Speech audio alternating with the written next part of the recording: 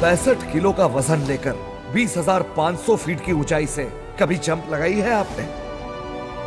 एक para commando अपनी initial training में ऐसी पाँच जंप्स लगाता है। उसमें से एक रात के घने अंधेरे में और एक पूरे बैटल गियर के भारी वज़न के साथ। 50 किलो का वज़न लेकर 60 किलोमीटर तक चलना।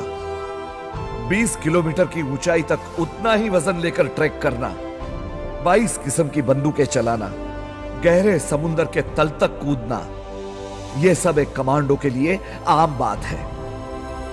बिना हथियार के, हथियारबंद लोगों से लड़ना, दुश्मन के इलाके में उतरकर, दुश्मन को उसके घर में घुसकर मारना, बाएँ हाथ का खेल है कमांडो के लिए, जहाँ सूरज की किरणें तक ठीक से नहीं पहुँचती, वहाँ पहुँचता है कमांडो, जो जहरीले सांप लोगों की मौत बन सकते हैं। उन्हें खुराक बनाता है कमांडो।